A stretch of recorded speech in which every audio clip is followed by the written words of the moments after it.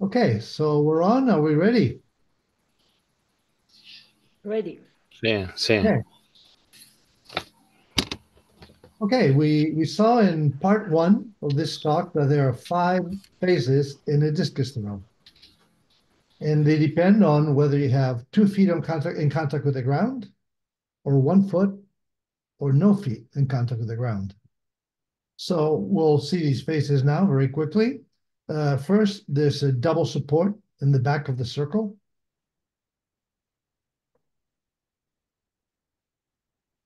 That's followed by uh, a single support on the left foot. Then there's a very brief airborne phase. Then there's a single support on the right foot.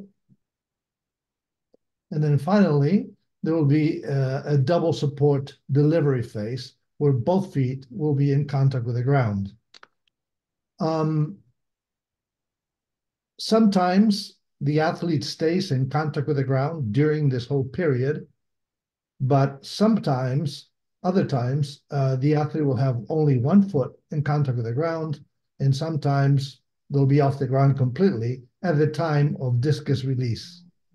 Al momento del rilascio ci saranno delle situazioni in cui l'atleta avrà entrambi i piedi a contatto con il suolo, altre in cui solamente un piede sarà in contatto con il suolo, altre ancora in cui nessun piede sarà in contatto con il suolo.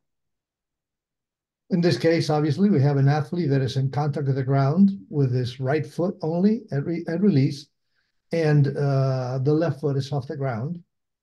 And keep in mind that my graphics do not show the whole hand. So this is the instant of release. Ricordatevi che la mia grafica non mostra esattamente la mano, si vede, non si vedono le dita, però questo è veramente l'istante del rilascio. So the hand does not show the fingers. It's like a fist like this. Does not show the fingers. Okay, in part one, I explained how uh, during um, during the initial double support in the back of the circle and the first part, the early part of the single support on the left foot, uh, the athlete produced um, a lot of angular momentum counterclockwise.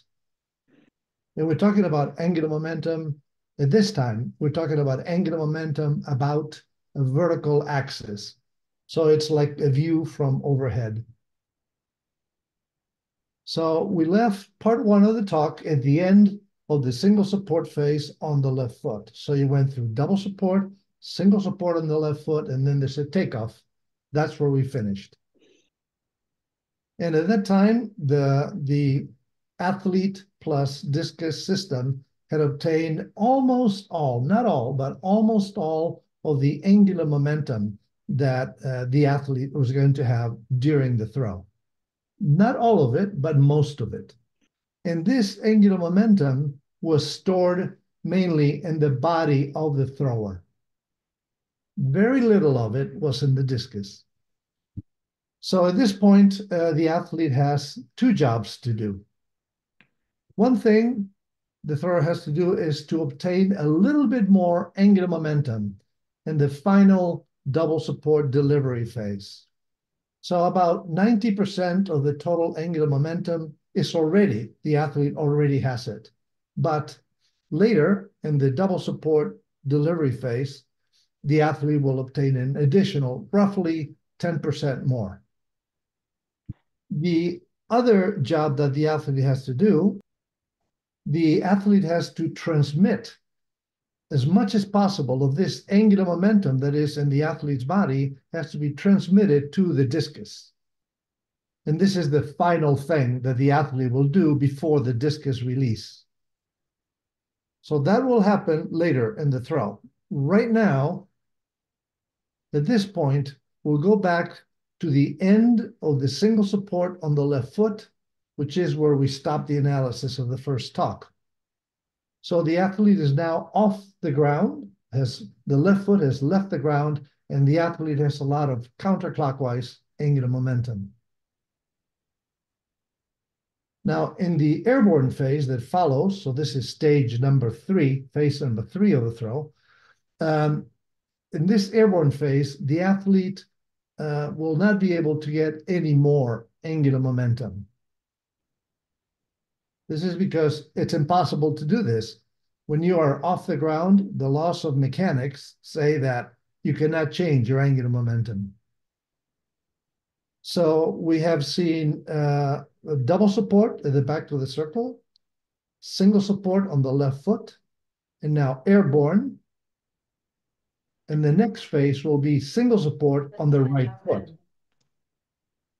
So then in the single support on the right foot, also, there will be no angular momentum added or very little. This is possible according to the laws of mechanics, but simply it does not happen. The discus thrower will not gain hardly gain or lose almost any angular momentum uh, on the single support over the right foot. Okay, so in this uh, airborne phase, phase number three, and the single support on the right foot, phase number four, in these two phases, there's not going to be any or almost any change in the angular momentum. So is there anything you can do uh, for the throw in these two phases, or are they just useless phases? so yes, there is something that we can we can do about. There's something that we can do during this airborne and single support on the right foot. So we saw in part one that to get to generate angular momentum from the ground, to obtain angular momentum from the ground, you need to start from a position in which the upper body is very clockwise relative to the lower body. So, you know, you're starting your throw and you go like this, you go very clockwise. And at this time, the upper body is very clockwise relative to the lower body. But what has happened during the double support on the back of the circle and the single support on the left foot is that the upper body has almost caught up with the lower body. So why has this happened? Why has the hips, this is the hips, this is the shoulders, and you started very much this way, but now you're almost like this. Why did that happen? So the reason why the thrower did this is that by doing this action of the shoulders this way, by doing this action of the shoulders, that indirectly helps the muscles of the legs to be in slower concentric conditions and therefore to make bigger forces on the ground. And that was good because by making bigger forces with the muscles, it means that the feet will make bigger forces this way, clockwise on the ground. And by reaction, the ground will make bigger forces counterclockwise on the athlete and that helps to produce more angular momentum. So doing this, this catching up of the shoulders, catching up with the hips, that was a very good thing to do. But now we are going to be having a second uh, uh, generation of angular momentum in the final double support delivery phase. So here's the upper body, the lower body, here's the upper body, and you started here, then in the double support, the back of the circle, and the single support uh, over the left foot, the upper body rotates counterclockwise like this relative to the lower body. And But now we want to be in a very clockwise position of the lower body again later, so that now we need the upper body again to go clockwise relative to the lower body so that during the final double support delivery phase, you can again rotate counterclockwise, the upper body relative to the lower body. So we have two cycles of the same thing here. So you start like this and you go, this is the initial position, and then you go counterclockwise, clockwise, and counterclockwise and release. Okay, so the athlete is just taken off from the ground left foot just took off from the ground, and the shoulders are caught up, almost caught up with the hips, And now we need to reestablish the extreme clockwise rotated position of the upper body relative to the lower body. And this will be done during the airborne phase and during the single support on the right foot. Okay, so let's see this in an animation. Three times.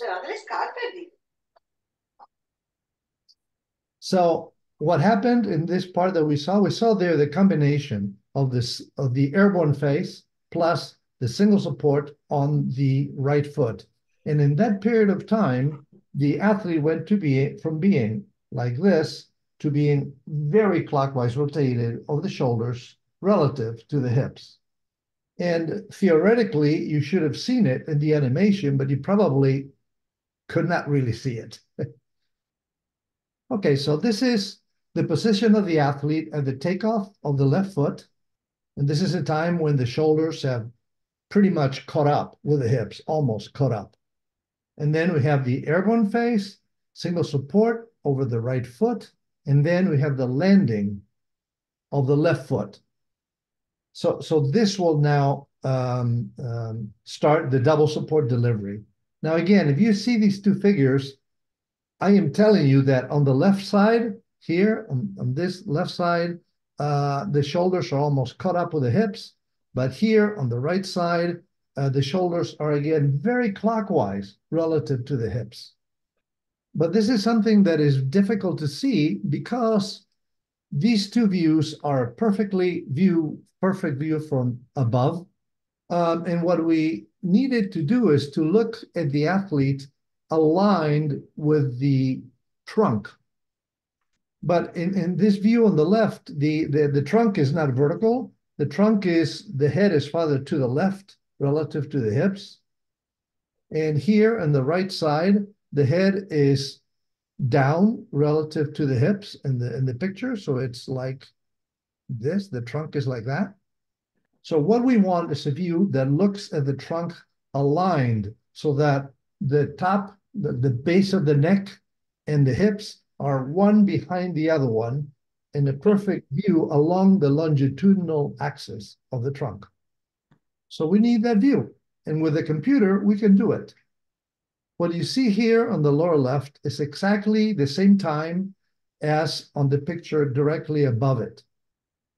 So this time we have a view perfectly along the trunk and I have rotated it so that the hips are facing up on your screen. So this the, the red line is, so you have here, this is the left hip, this is the right hip, and they're perfectly horizontal in your image. I, it was my choice. Uh, and we see that the shoulders, though, which are shown in this blue, not a very good choice of color, is not very visible, but the shoulders are a little bit clockwise relative to the hips, maybe 10, 15 degrees. So now we're going to see the the second picture, the, the, the landing of the left foot. We're going to do the same thing. So again, I have rotated, it's a view along the longitudinal axis, and I've rotated the picture so that the hips face upward again in, in, in the image. And what we see is that the shoulders are much more clockwise relative to the hips at this time. So this is that choice of color here, but you can see this angle here is very big, while this angle here was very small. Okay, uh, we can see this in a slightly different way. Um, I chose in this second picture to make the hips be facing exactly in the same direction as the picture on the left. But what I'm going to do now, and I don't know if you can see it. Well, yeah, you can. um, what I have done here in this last picture, this is the same, this picture here on the right is exactly the same as this picture in the middle. But I have rotated the picture on the right counterclockwise so that the shoulders, the shoulders are in the same direction as what they had here. And we see that when we do this, the hips are much more counterclockwise here relative to the shoulders than they were here. the, uh, the these two images, the one on the right and the one in the middle, they show uh, the same thing. Uh, we're seeing that the shoulders are very clockwise relative to the hips, or that the hips are very counterclockwise relative to the shoulders. It's the same thing. So how did the athlete do this? Uh, the athlete did this with through two different mechanisms. One of them was that the athlete used the muscle. The, the one, the, the first one is the one that you would logically think about intuitively, is you use the muscles of the trunk, the oblique muscles of the trunk to make the shoulders go clockwise relative to the hips.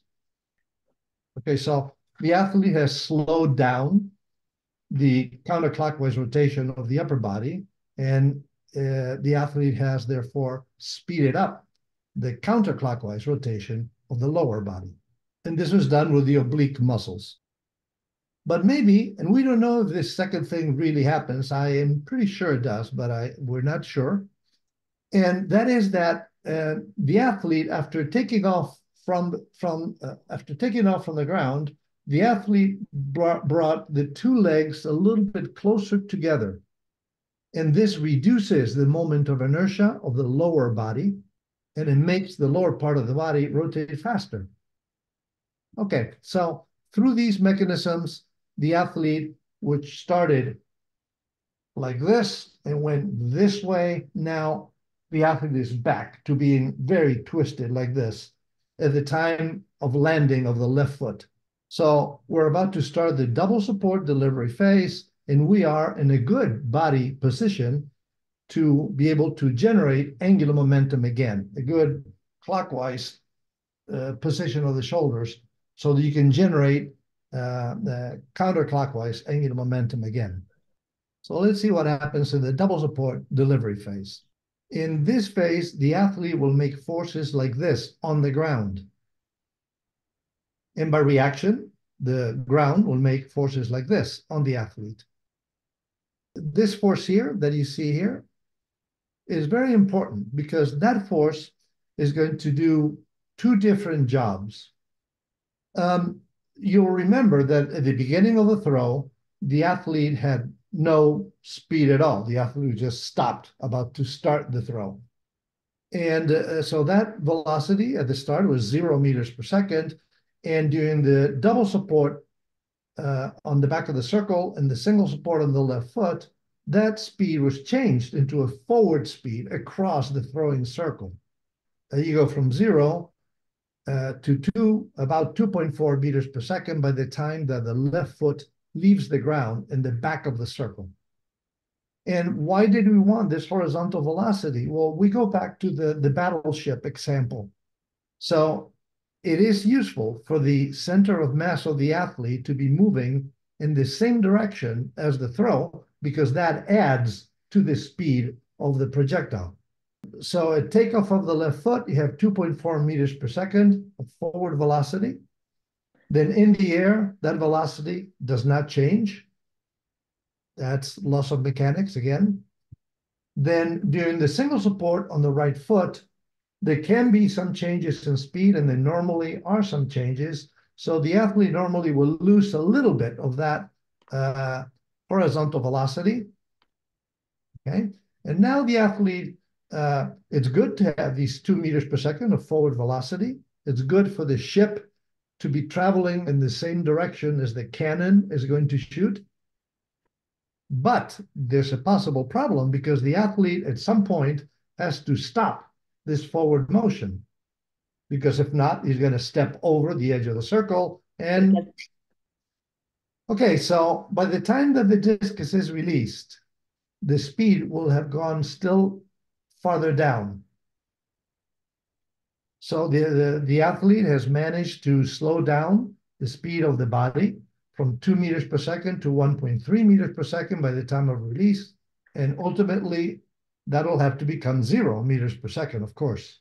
So is the athlete moving forward during the acceleration of the discus? Uh, yes, uh, starts at like two meters per second, and then by release is going at 1.3 meters per second.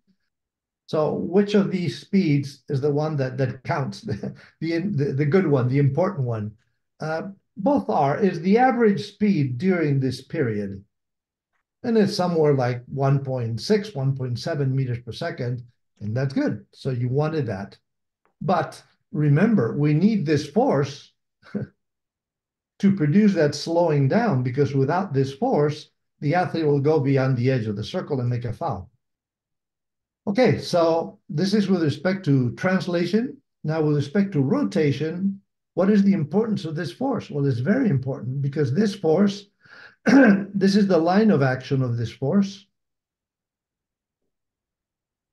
more or less. and you can see that this is an off-center force. And this is the, the moment arm of the force. So when you multiply this moment arm by the size of the force, you get a counterclockwise torque. So you will increase your angular momentum again in this final double support phase, mainly because of this force that you see here. This other force here, made on the right foot, it will not have too much of an effect on the rotation for two reasons. One is the force is small, and the other one is because it passes very close to the center of mass. It has a very small moment arm. Okay, so our athlete is going to generate more angular momentum. Remember, we're talking only about that extra 10%, um, but we want that to be 12, 13, 14. We want it to be as big as we can make it, but it's never going to be very big. So how can you maximize the torque that you get from the ground in the double support delivery phase? Well, you do it in exactly the same way as you did it in the first double support phase at the back of the circle. We have trick number one is you keep your arms spread out. By having the arms very spread out, your moment of inertia is very big. So even though you have a lot of angular momentum counterclockwise, you're not rotating very quickly.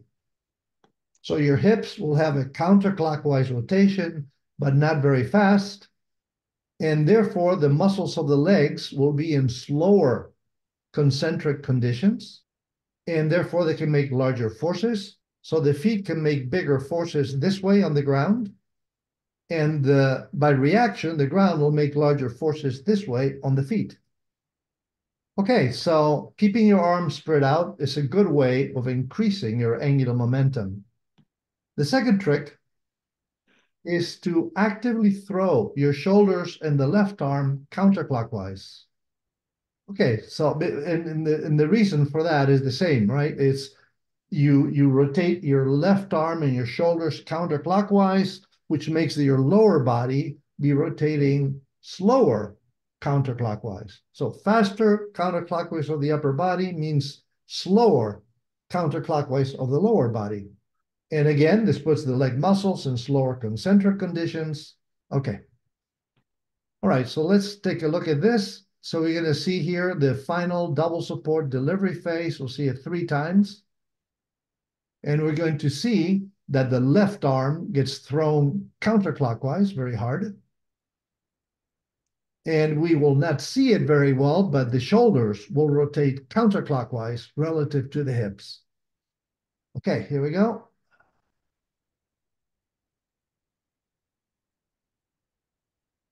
All right. Okay, so one question that you probably have right now is the following. Why is it that in the back of the circle, the thrower can generate uh, a large amount of angular momentum?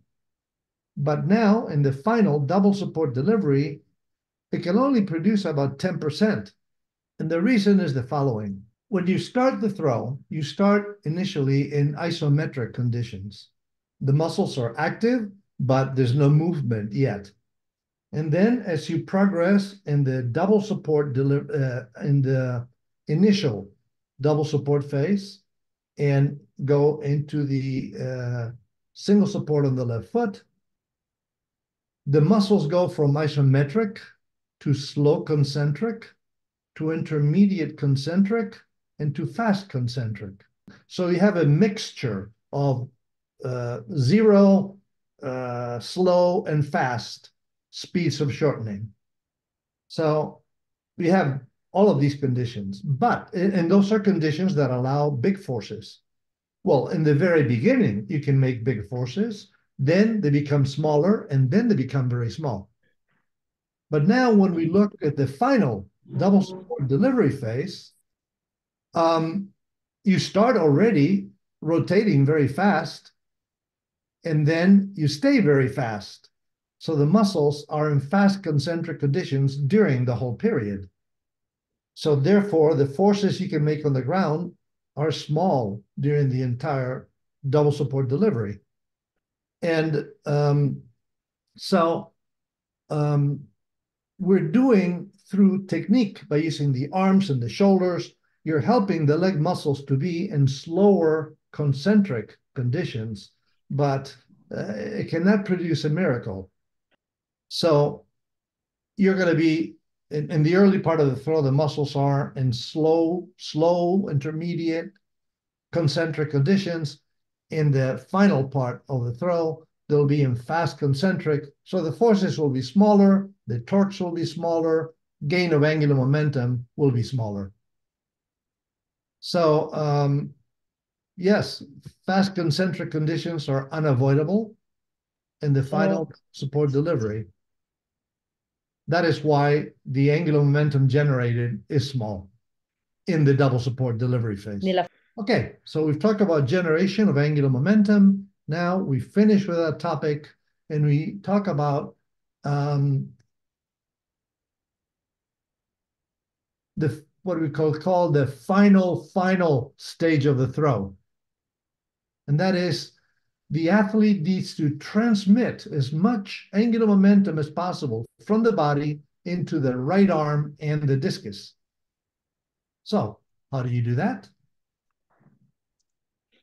Okay, well, you will use the, um, the pectoral muscle of the right arm. And by activating this muscle, you will increase the angular velocity of the right arm and the discus, and you will reduce the angular the, the angular velocity of the rest of the body. So the uh, by using the right pectoral muscle, you're adding angular momentum to the right arm and discus and subtracting angular momentum from the rest of the body. So now we're going to look at some, some numbers to un understand an interesting concept. So we're going to see an example where the right arm has a speed of rotation of 1,000 degrees per second. This is pretty normal. It's, it's about what it is, more or less. Now let's imagine that while the arm has these 1,000 degrees per second of counterclockwise angular velocity, let's imagine if the rest of the body, of the shoulders, were static, if they were just facing forward and not rotating at all. That is not realistic. The, the trunk will be rotating counterclockwise. okay, so in that case, at the shoulder joint, the shoulder joint will be horizontally adducting, AD, adducting, at a speed of 1,000 degrees per second. That's a very large velocity, angular velocity. And so the muscle will have to shorten very quickly. Fast concentric, not good. that the muscle is in fast concentric, and therefore it cannot really make a very big force. Okay, so let's see now a slightly different situation. Again, in this new situation, the right arm will be rotating at 1000 degrees per second, but in this case, the trunk will be rotating counterclockwise at 200 degrees per second. So while the right arm rotates this way, the trunk rotates in the same direction, although much slower. And what that does is that means that the angular velocity at the joint, the articular angular velocity, is now only 800 degrees per second. And this is good because it puts the muscle in slower concentric conditions. So even if the trunk does not pass all of its angular momentum to the right arm and the discus, it's useful for the trunk to have a counterclockwise angular velocity because it helps the right pectoral muscle to be in slower concentric conditions. Okay, so is there any other way that we can also help the right pectoral muscle? Yes. Remember that to produce angular momentum, the left arm was thrown counterclockwise very hard. Well, what we will do now is we will use the left pectoral muscle. And this muscle, what it will do is it will stop or slow down very much the counterclockwise motion of the left arm. So the arm is doing this, and then you stop it, or uh, maybe the speed of rotation of the left arm will stay the same, but the arm will be brought closer to the shoulder. So you can do this, or you can do this. Both of those actions require using the left pectoral muscle. And that produces a torque this way on the arm. Okay, to slow down the arm, you produce a clockwise torque on it. And it produces a counterclockwise torque on the trunk. So this speeds up the trunk and therefore puts the right pectoral muscle in slower concentric conditions. So what we have here is that the use of the left pectoral muscle is helping the use of the right pectoral muscle. Okay, so we, we've talked here about how um, uh, it's, it's athletes generate angular momentum about the vertical axis in the early part of the throw, and they produce a lot of it. And then later on, that stays more or less constant with this small increase in the final double support phase. Okay, so um, admitting somebody new. Okay, so uh, it's important. So it's important for the athletes to be very active in the early part of the throw, but we have to have a word of caution here. When you get this angular momentum, it's good to have the body very spread out because that way the movement, uh, the, the speed of rotation is slower.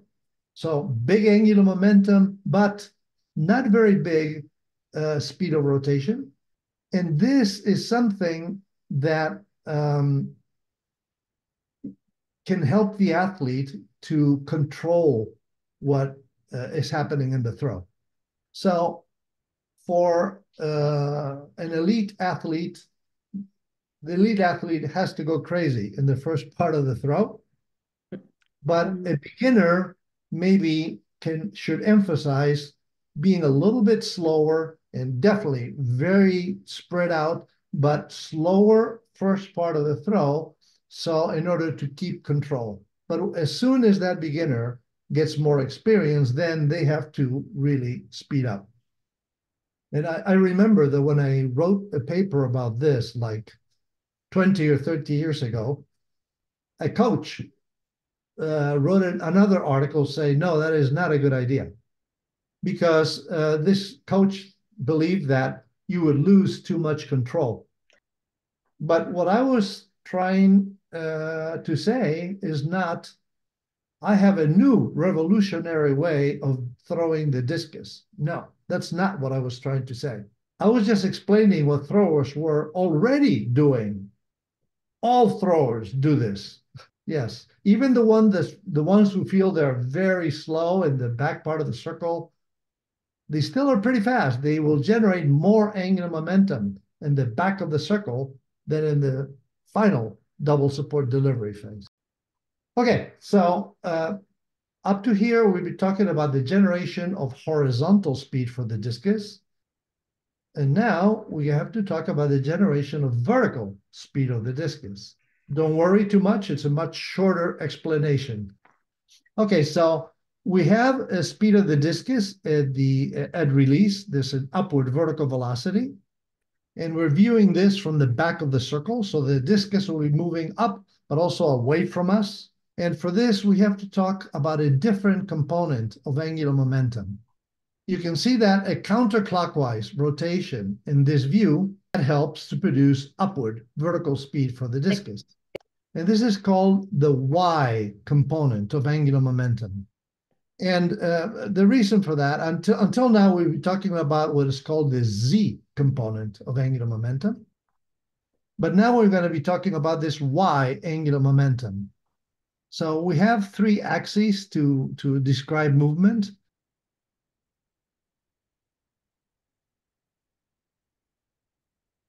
The x-axis will point towards the right, the z-axis points upward, and then there's a third axis, three-dimensional, and that's not an X. Those are like the feathers of the arrow that's pointing into the screen, and this is the Y-axis. So it's pointing in the direction of the throw. Okay, so so angular momentum is uh, obtained by the thrower from the ground. The the y angular momentum in the same way as the x angular as the z angular momentum before. So this y angular momentum is obtained from, by the thrower from the ground, and then near the end of the throw, it's transferred from the thrower to the discus. So this is the same as what we saw with the z component, but the timing is different. Uh, the generation of y angular momentum happens at a later time in the throw than what we saw for the z angular momentum. Okay, so we see the throw from this Y along this Y direction. And don't worry about the graphics on the upper left. There's a graphic is going to be being produced. Don't worry about that. Just look at the thrower. And we're going to see it three times, throwing away from us. Guardiamo il lanciatore che si muoverà per tre volte, non vi preoccupate di quello che accade in alto a sinistra dello schermo.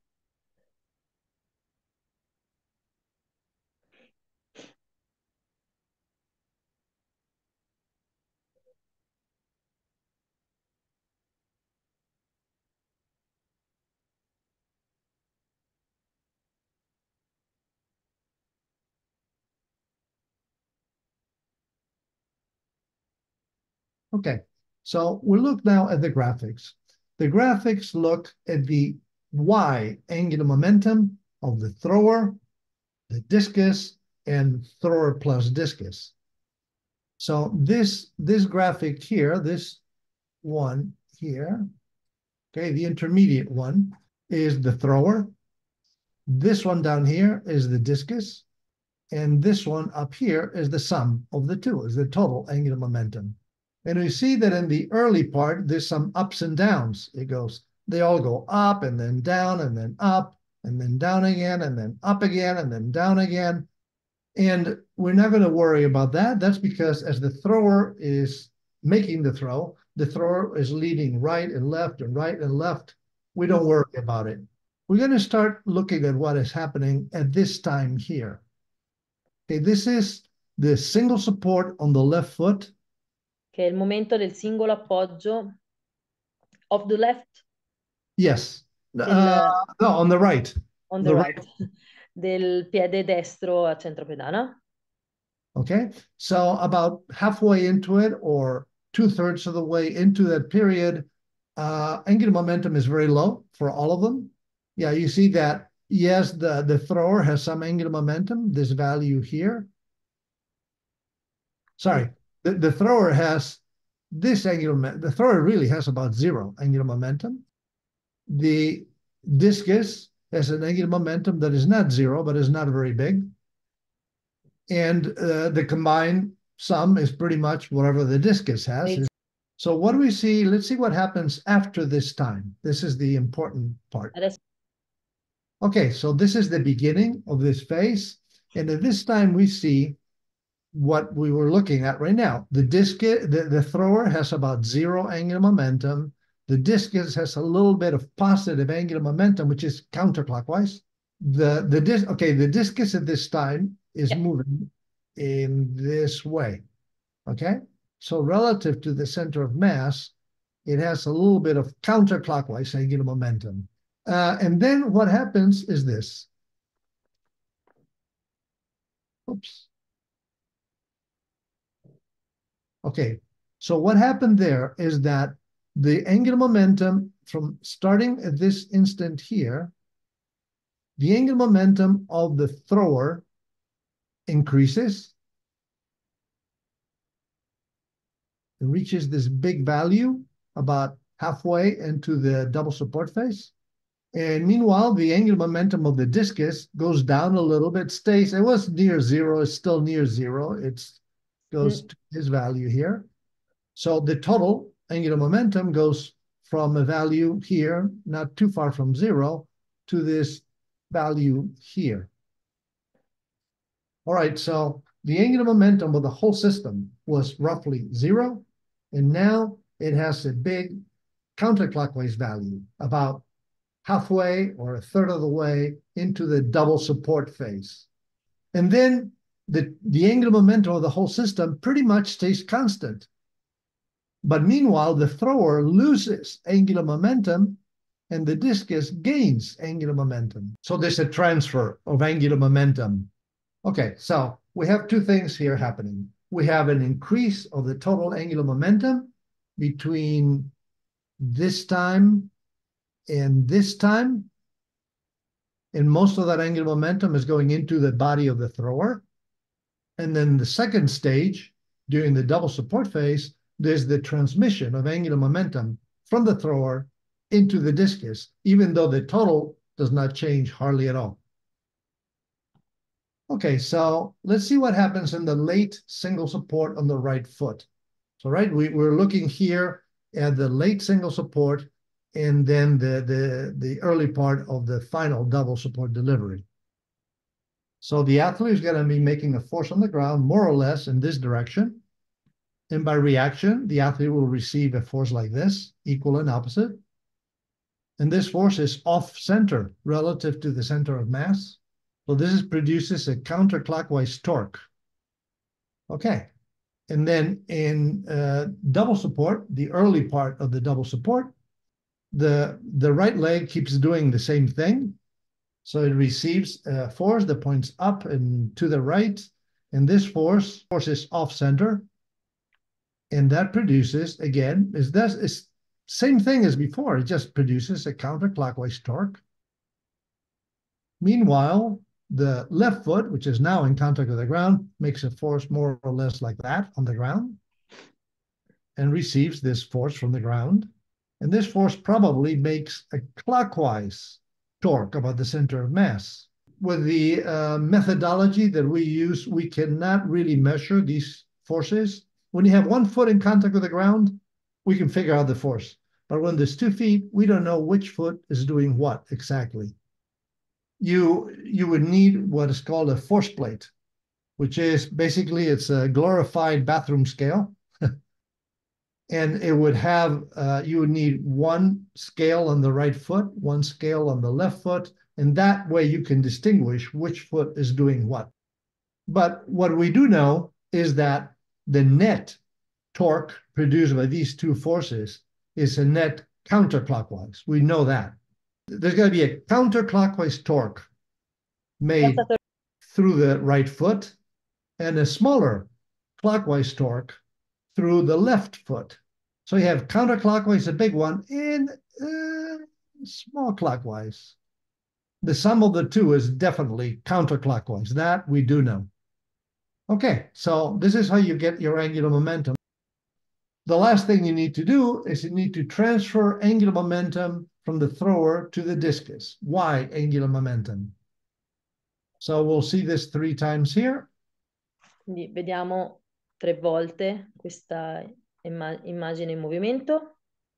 Okay, so what we just seen there, well, it's difficult to really just perceive, but you have seen the angular momentum of the thrower going down, the angular momentum of the discus going up, and the total angular momentum staying about the same. So what is happening here is how are you doing this? How's the athlete doing this? Well, that is happening through the del deltoid muscle. So that muscle will be active and it, it, you you have the pectoral muscle having this kind of emotion. yeah, this kind of emotion through the pectoral action, and from the deltoid you have this motion. Okay, so we're pretty much finished. I'm just going to give you a very brief summary. Okay, the main goal of a discus throw is to give the largest possible amount of speed to the discus at release. there's a translation of the thrower forward and upward, and that makes a contribution to the speed of the discus. But most of the speed is produced through rotation. Angular momentum is obtained through the interaction of the feet with the ground. And this angular momentum is first stored in the body of the thrower. And just before release, very shortly before release, a large part of that angular momentum is transferred from the thrower to the discus. And this is done through the interaction of the thrower with the throwing arm and with the discus. So when we look at the discus, it's very important to keep these two separate concepts. One is interaction with the feet with the ground that produces angular momentum. And the other one is the interaction of the thrower with the throwing arm and the discus.